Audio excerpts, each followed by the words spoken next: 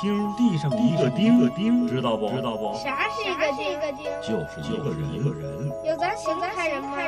有有。谁谁？郭守敬，在哪儿哪儿？在那儿那儿。是的，天上是有一个以中国邢台人命名的小行星——郭守敬星。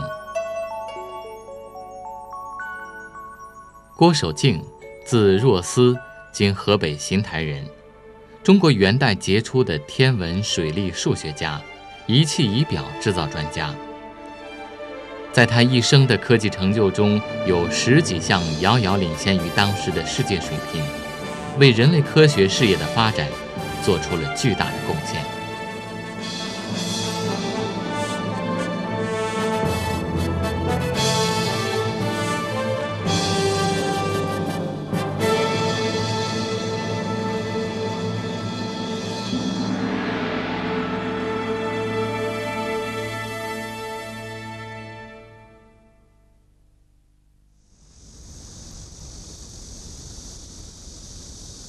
邢台。中华文明的发源地之一，自商代足以地迁都于此，已有三千五百年的历史。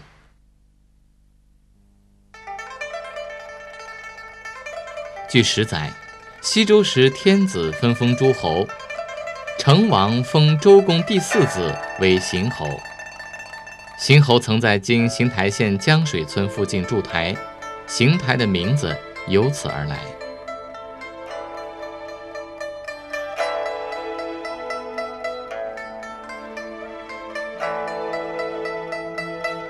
据史书记载，郭守敬是古代邢州郭村人，邢州就是今天的邢台市。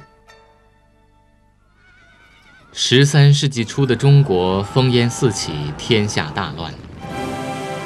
宋、金、蒙古、大理、西夏等封建割据势力为争夺统治权，血雨腥风，征战连年。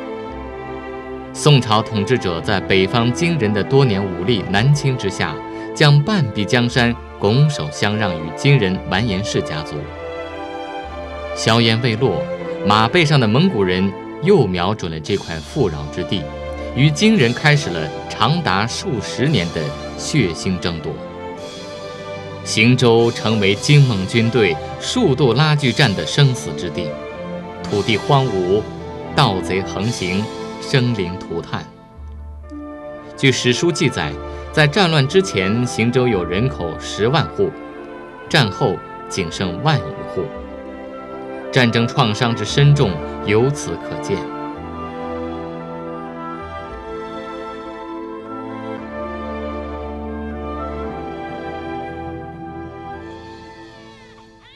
公元一二三一年，郭守敬诞生于灾变之中的。邢州郭村，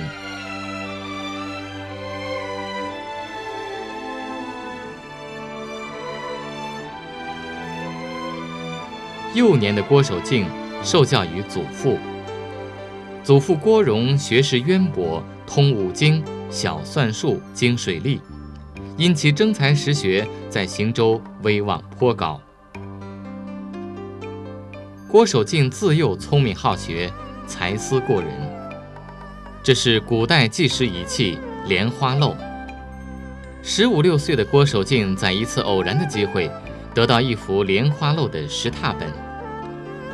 莲花漏的工作原理是利用受水壶中水平面的高度变化，使浮标箭头在匀速上升中指示刻度，从而达到计时的目的。它的结构比较复杂。只凭一张图了解其中的结构原理，绝非易事。然而，少年郭守敬凭着他的知识和聪慧，竟很快弄清楚了其中原理，并仿制成功。不久，郭守敬又在一本古书中见到一幅基衡图，这就是著名的古代天文仪器浑天仪。他认真思考其中的工作原理，找来竹篾。照图仿制，做成一个模型，基土为台，置于其上，观测天上的星宿变化。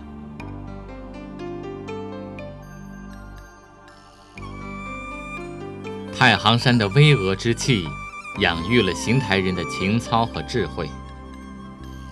有一个对郭守敬的一生起了重要影响的人物，他就是元朝的开国重臣刘秉忠。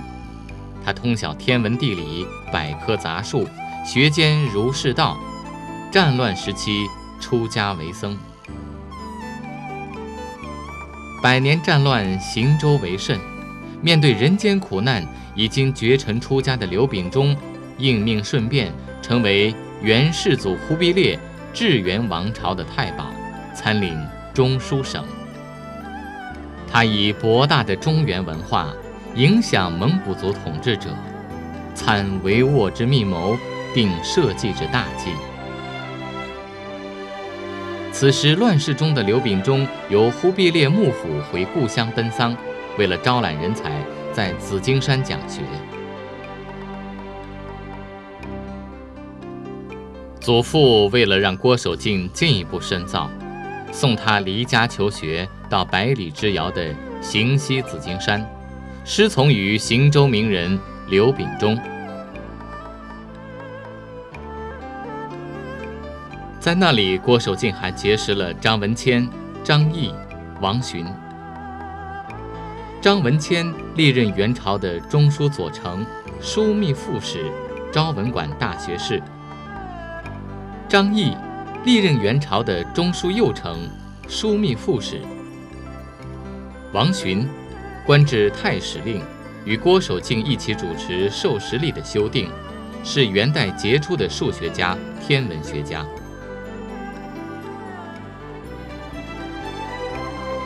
紫金山求学是郭守敬人生道路上的重要经历。由于在治国和科技方面的成就，刘秉忠师生五人被后世的史学界称为“紫金山五杰”。他们为元朝的大一统和社会的安定发展做出了重要贡献。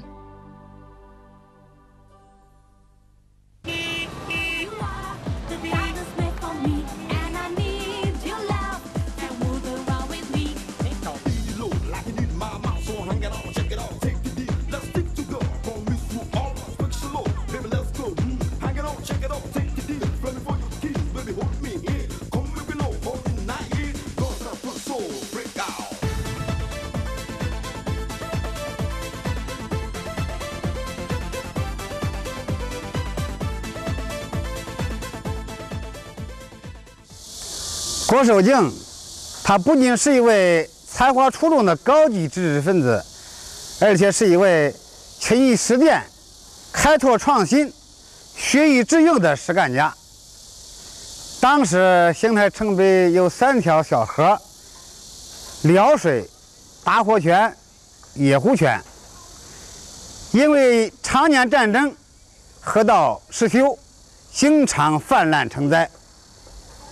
一二五一年，年仅二十岁的郭守敬，为了造福乡里，带领四百名民工挖河筑堤，仅用四十多天时间，就使三条河水各顺其道。郭守敬在这里既治理了水货，还指点民工挖出了埋没多年的桥基，并在这里建造了一座新石桥。邢台治水。是郭守敬展示水利才华的第一篇杰作，在当时呢影响很大。金末元初的大文学家元好问为此专门撰写了《兴州新石桥记》，记述了郭守敬邢台治水的功绩。公元一二五一年，郭守敬崭露头角，治理家乡水患，使三条河流各有归宿。既便利了南北交通，还可灌溉城东的大片农田。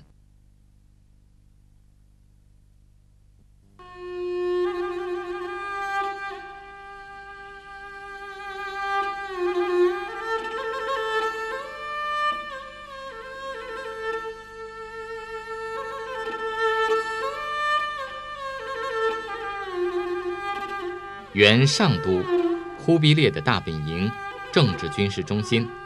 是蒙古族统治者早期的都城所在地在今天的内蒙古自治区正蓝旗境内。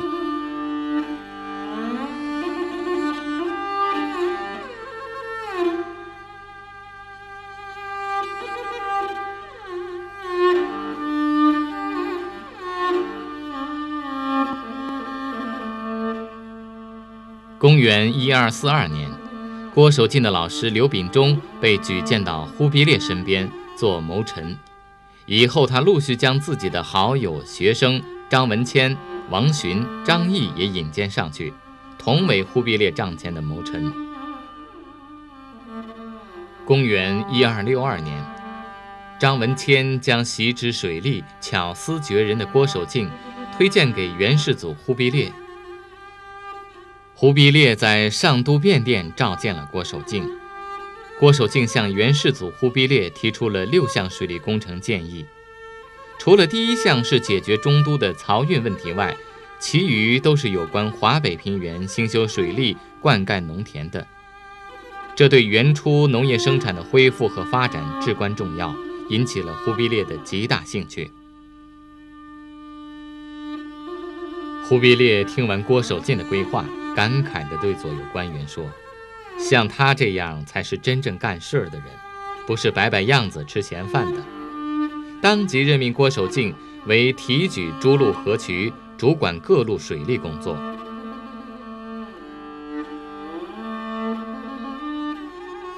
从此，郭守敬步入仕途，开始了他为国计民生操劳的一生。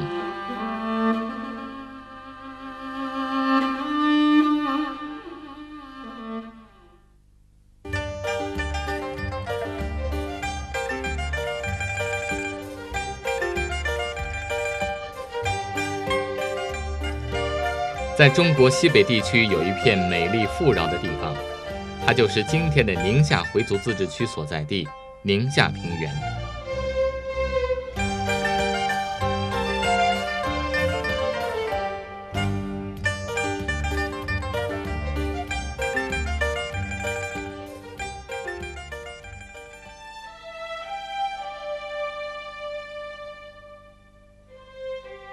公元十一世纪。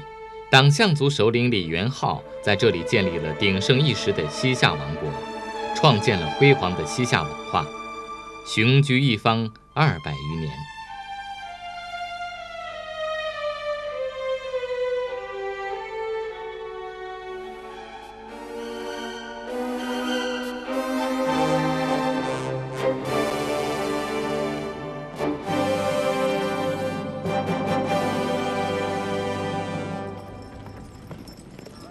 一二二七年，成吉思汗在扩张领地的战争中灭掉了西夏。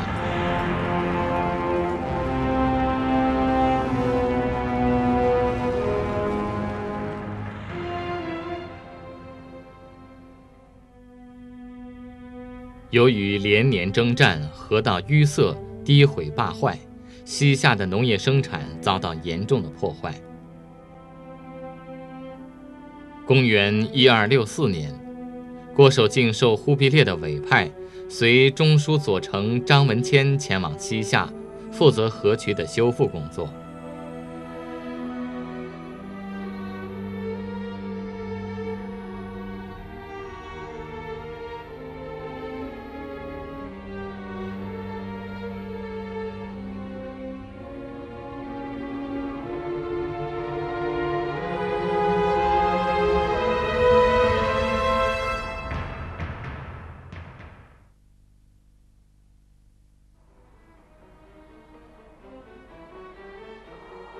深知战争之苦的郭守敬，经过实地考察，力排众议，驳斥了旧渠已毁，需重开新渠的主张，提出了因旧谋新、更力杂验这个又快又省的治水方案，率领民工在不到一年的时间里，快速修复了长达四百余里的唐来渠和两百五十余里的汉延渠，以及正渠十条、大小支渠六十八条。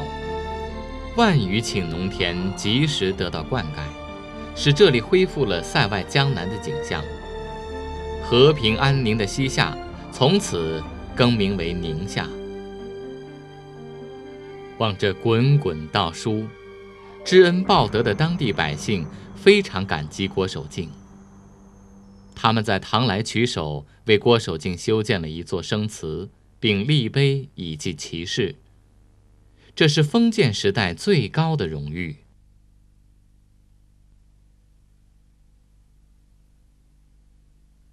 从郭守敬这个西夏治水以后啊，宁夏的这个呃水利是得到了恢复。呃，你元朝在这屯田呀，也取得了很大的成功。从这以后，就有了“天下黄河赴宁夏”之说。唐来区，这是宁夏银皇关区规模最大的一条渠道。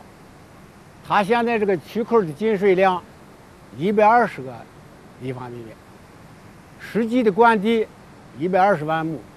这个渠道呢，跨越六个县市，全长二百一十二公里。银皇灌区的人民把它比喻为“塞上入灌”，这就是汉源区的正式进水闸。郭守敬那个时候，他搞这个耕地闸堰，就是位置就是这个地方。那原来那是没有的，没有闸。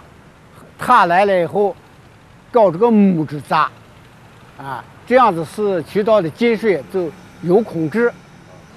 这就是郭守敬当年。整修的塔州整渠石中的两条，一个叫秦渠，一个叫汉渠。以前这两个渠加起来灌地是二十多万亩，现在的两个区灌地是五十多万亩。在西夏治水期间，郭守敬曾溯流而上，探寻黄河的源头。这不仅是一次科学考察，更是生命的历练。太行山给予了他生命，黄河水完成了他事业的第一次洗礼。公元一二七一年，由于郭守敬治水功绩卓著，被提升为都水监，这是负责全国水利工程的最高官职。公元一二七一年，忽必烈迁都大都，国号大元。大都即今天的首都北京。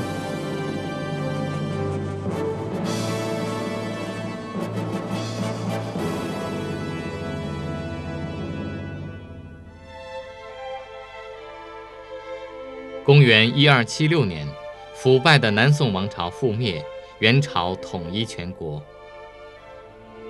此时，元帝国的版图横跨亚欧两大洲。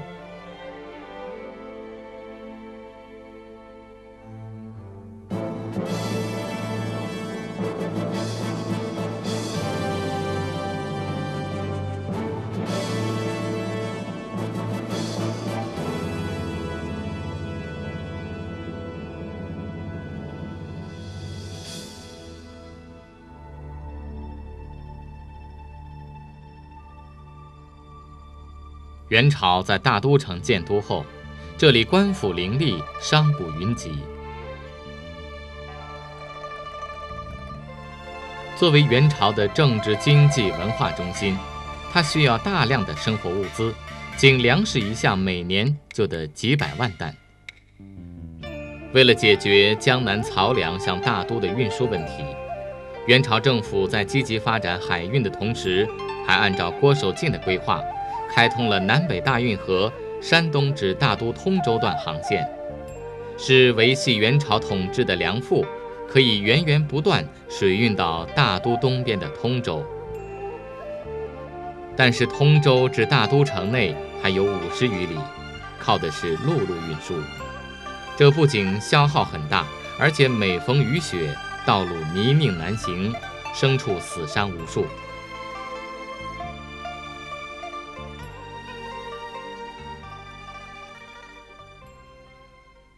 公元一二九一年，郭守敬向忽必烈提出开挖大都至通州运河工程的宏伟规划。忽必烈对此工程非常重视，第二年即立项开工。公元一二九二年，年逾花甲的郭守敬重返都水监，主持开挖了大都通惠河。郭守敬对大都周围环境进行了详细考察，最后选定大都西北昌平神山脚下白浮、一亩等多处泉水作为运河水源。为使这些水源顺利引进大都城，郭守敬设计开凿了一条长六十四里的河渠，在河渠东岸修筑了一条大堤，称白浮堰，先引水西去，直逼西山山路，再斜引向东南，在保持河道坡度下降的趋势下，使引水路线大致沿着五十米等高线平稳流入瓮山坡，就是今天的颐和园昆明湖。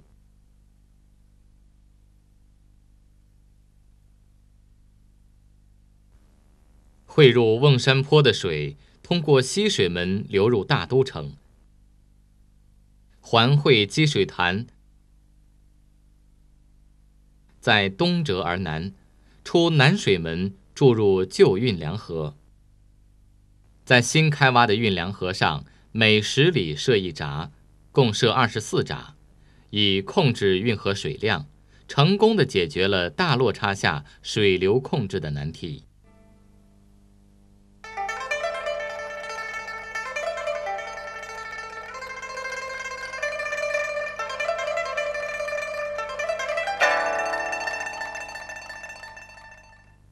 郭守敬在运河开挖过程中创造了节水行舟法。现在是一艘从上游开来的船，船进船闸后关闭后闸，再开启前闸，徐徐放水，待水位与低水位相平时，船再开出，反之亦然。此法解决了高落差航道中的行船问题，这在当时是了不起的创举。京通运河从昌平白福泉至通州高丽庄，全长一百六十四点五里。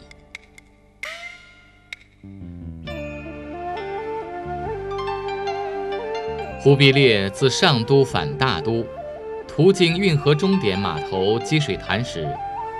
见竹炉碧水，盛况空前，十分高兴，欣然赐名通惠河，并奖励郭守敬一万两千五百贯钱钞，任命郭守敬以就职兼任提调通惠河漕运事。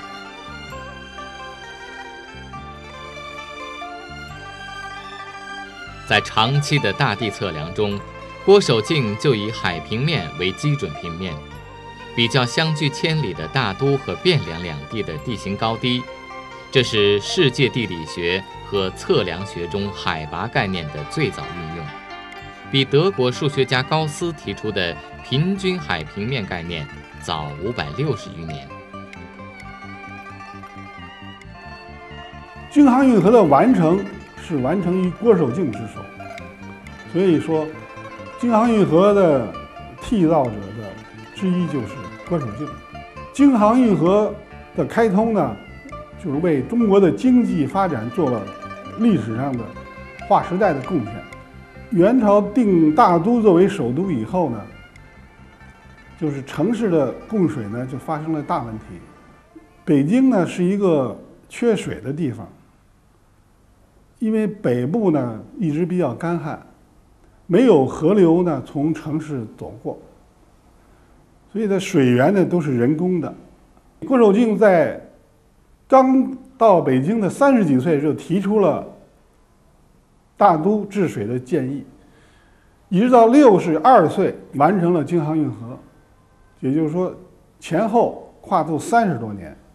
现在说起来，北京的水利的鼻祖的话，还是属郭守敬。当年郭守敬这两条引水。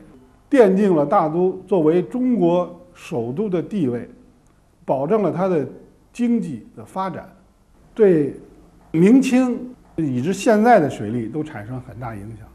北京的供水的格局影响到现在。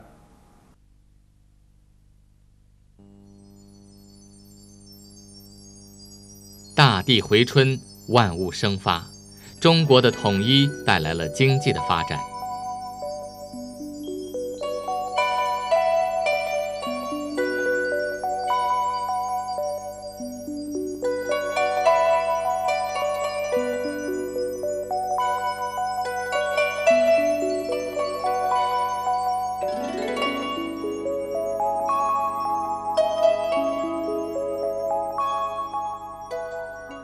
国自古以农业为本，农事与立法密切相关，因此历代对修订立法都非常重视。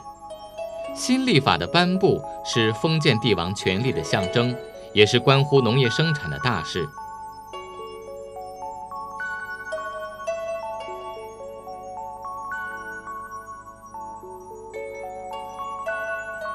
早在尧舜时期，人们就已经开始观测日月五星，划分年月。此后，先后制定出了七十多部历法。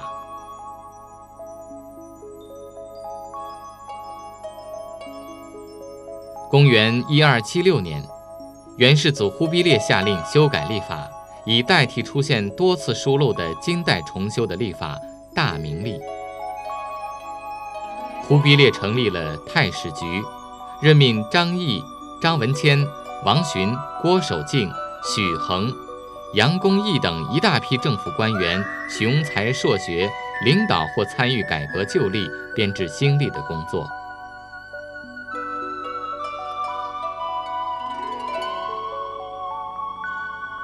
历史又一次将郭守敬推向了人生的高点，这一次，他要面对的是茫茫天穹。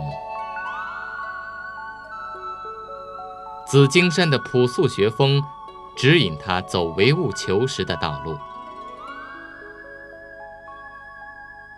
郭守敬不逆古，不为上，不信邪，焚毁大批阴阳伪书，肃清自古流传下来的经卦符说，主张立之本在于测验，而测验之器莫先仪表。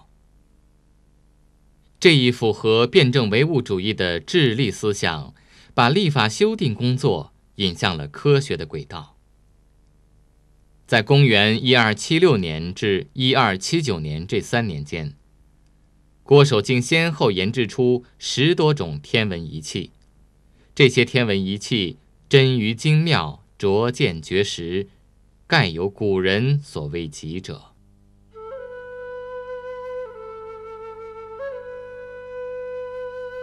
简仪是郭守敬在我国传统观天仪器浑仪的基础上改革创新，研制出的一件天文仪器，通高三米，底座长三点九六米，宽二点四米。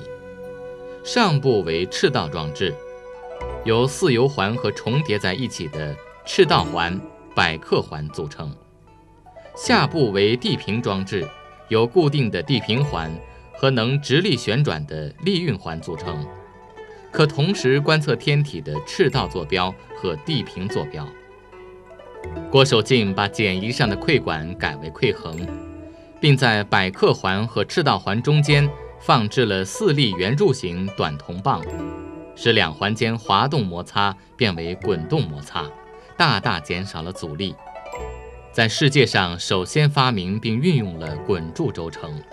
这比西方文艺复兴时期达芬奇设计的滚筒轴承早了两百多年。郭守敬的简仪与浑仪相比，既简便又大大提高了观测的精度，是世界上最早的大赤道仪，比丹麦天文学家地谷制造的同类仪器早了三百多年。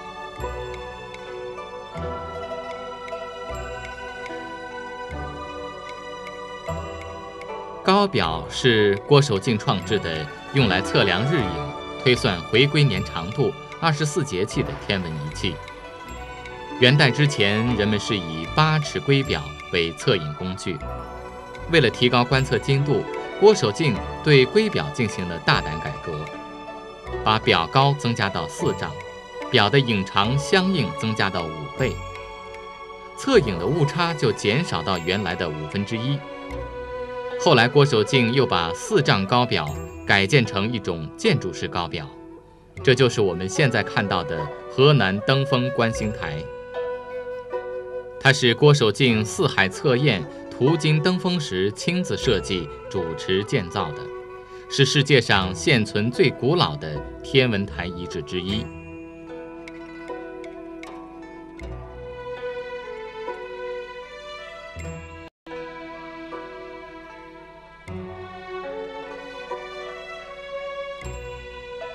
窥基长六尺，高四尺，宽两尺，是郭守敬创制的配合高表使用的测量仪器，主要用于测量月亮和星星的影长，从而实现了无影测影。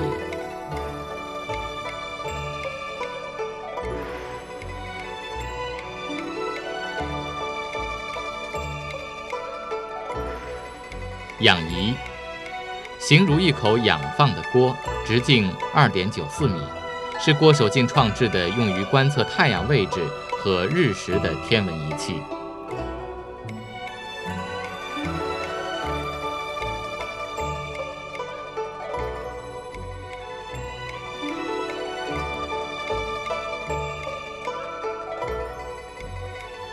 正方案，形如一张正方形的案板。边长四尺，厚一寸，是郭守敬创制的用来测定方向的一种天文仪器。它比指南针还要精确。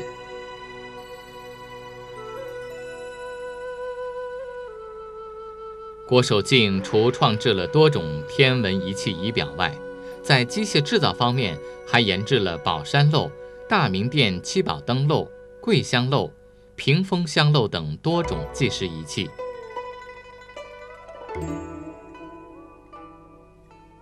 大明殿七宝灯漏是郭守敬创制的世界上第一台大型机械自鸣钟，因放置在元大都的大明殿，用于宫廷朝会而得名。它比西洋钟早四百多年。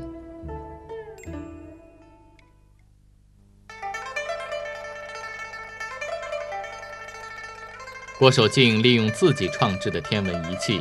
对浩瀚星空进行了全方位观测，发现了前人未命名的恒星一千余颗，使恒星数目由原来的一千四百六十四颗增加到两千五百颗，并著有《星表》两卷。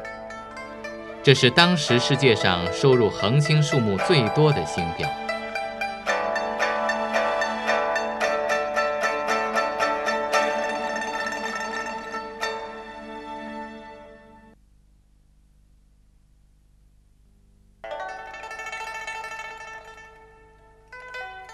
公元一二七九年，元世祖忽必烈下令改太史局为太史院，任命王洵为太史令，郭守敬任同知太史院士。郭守敬亲自为太史院选择地址，并规划设计、主持修建了太史院。院中央伫立的主体建筑是司天台，司天台当时又称灵台，台高约十七米。分为三层，一层是办公用房和仪器储存室，中层放置图书资料、石漏等，上层放置简仪、仰仪等天文观测仪器仪表。此外，太史院内还建有负责印制历法的工作局、历代天文历算家的纪念堂等辅助设施。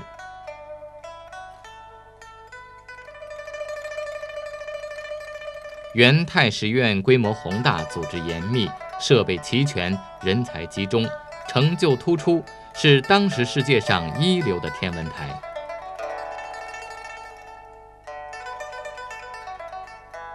据考证，太史院的位置大致在今天的中国社会科学院所在地，与明清时期建造的古观象台遥遥相对。为了制定一部比较精良的历法，需在全国范围内进行长期天文观测。郭守敬选派十四名监后官，分赴各地，在东至高丽、西及滇池、南于朱崖、北进铁勒的广大区域内，设立了二十七个观测站，开始了历史上称之为“四海测验”的大规模天文观测活动。郭守敬亲率一路人马从大都出发，先向北到上都，再折而南返，行程数千里，到达南海。每到一地，一方面加强观测站的建设，另一方面进行实地观测。各观测站对当地正午日影长度、冬至夏至、春分秋分昼夜时刻，以及北极星出地高度进行了测量。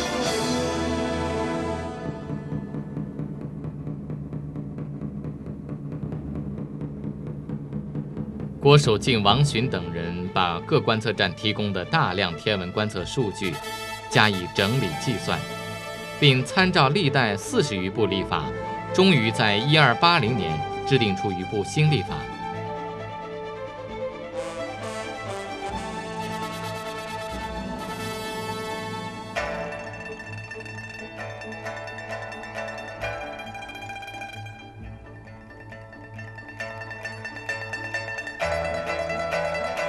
忽必烈赐名授时历，并任命郭守敬为太史令。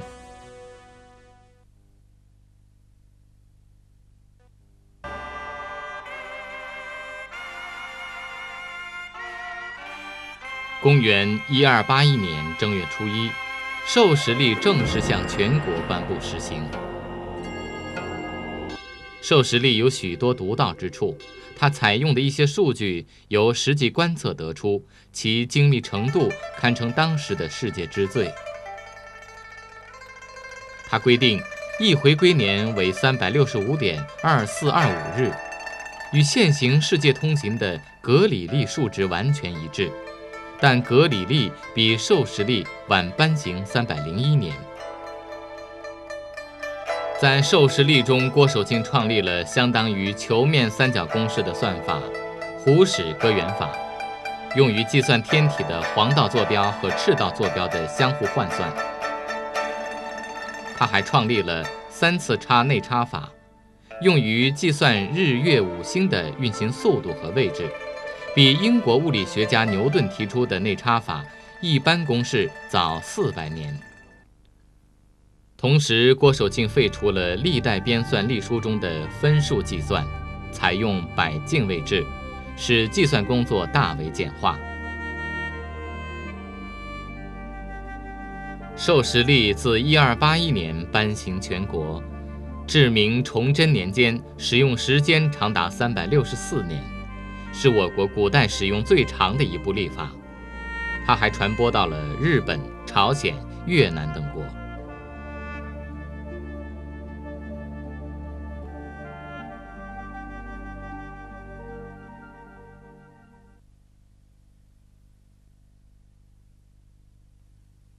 在许多天文学家当中，嗯，应该说郭守敬是最伟大的之一。在当时，郭守敬那个时候，十三世纪的时候，那是无与伦比的。他是一个一个能够做到非常非常精确观测的天文学家。当时的观测的精度，今天还还跟今天可比，那这这这个是超越不知道多少年了。那这这个在当时没有人可以跟他。抗衡的。我说，如果要相比，那三百年后。公元一二九五年，元世祖忽必烈驾崩，元成宗铁木儿即位。他于一三零三年下诏，凡年满七十岁的官员都要去职归养，唯独不允七十三岁的郭守敬离任，因为他的成就和作用无人取代。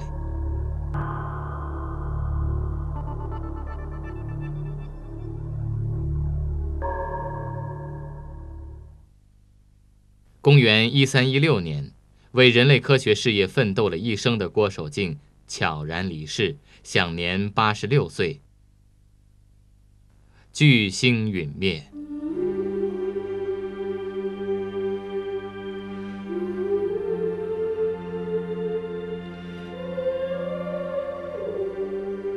据清康熙《邢台县志》记载，郭守敬葬于邢台西北三十华里的郭村故里。他的生前那样辉煌，身后却这样肃静，肃静的让我们不忍相信。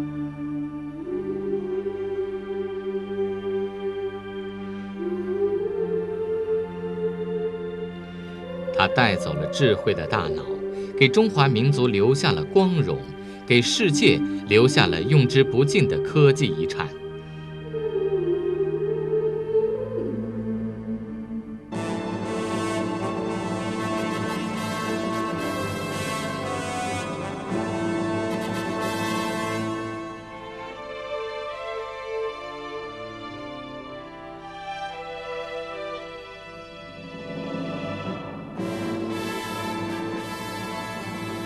为了缅怀郭守敬的丰功伟业，公元1962年，中国邮电部曾发行过两枚郭守敬纪念邮票。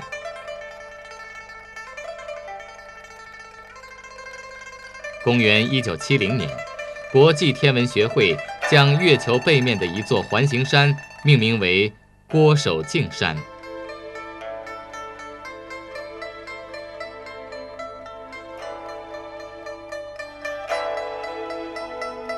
一九七七年，又将中科院紫金山天文台发现的二零一二号小行星命名为郭守敬星。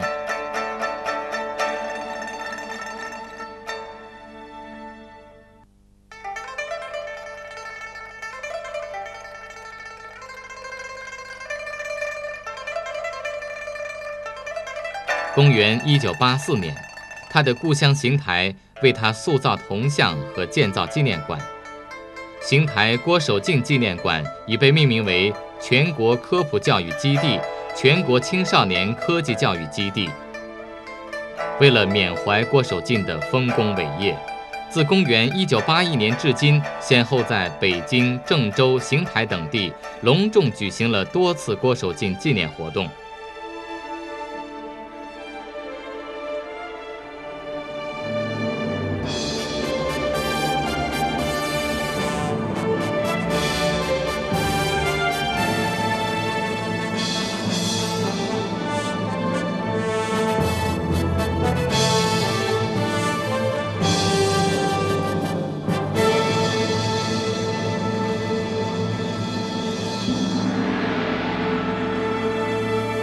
守敬故乡邢台人民为有这样一位科学巨星郭守敬而倍感自豪。在郭守敬科学精神激励下，热爱科学、学习科学、抢抓机遇、加快发展，使古城邢台焕发出勃勃生机。科学巨星郭守敬属于中国，也属于世界。他的英名将与江河常在，与日月同辉。